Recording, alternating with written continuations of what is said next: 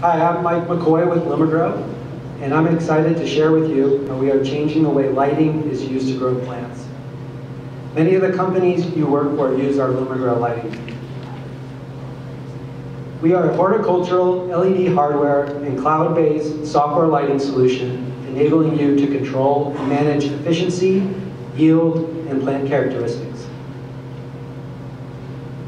LED has taken over in every other market, yet most greenhouses still use HPS.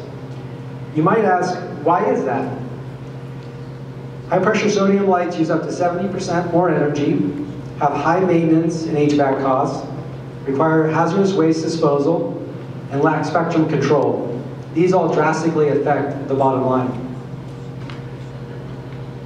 To address these problems, Lumigrow is bringing an easy-to-use LED hardware software solution to the greenhouse. New Pro Series fixture provides 20% more light output with more light and less energy combined with spectral control means lower operating costs, increased yields, and faster time to market.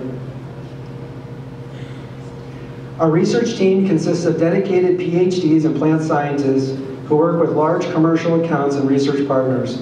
In a previous Zinnia trial, our research team found that specific light ratios could control height, compactness, flowering, and be used in replacement of plant growth hormones.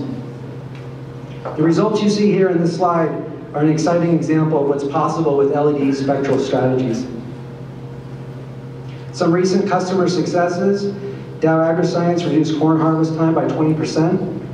The USDA is using spectral control strategies with corn, and commercial greenhouse and cannabis cultivators are using Lumigrow solutions to optimize crop production and improve energy efficiency at their facilities.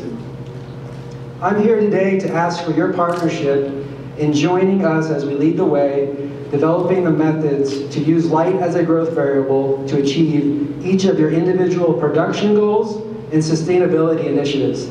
Thank you.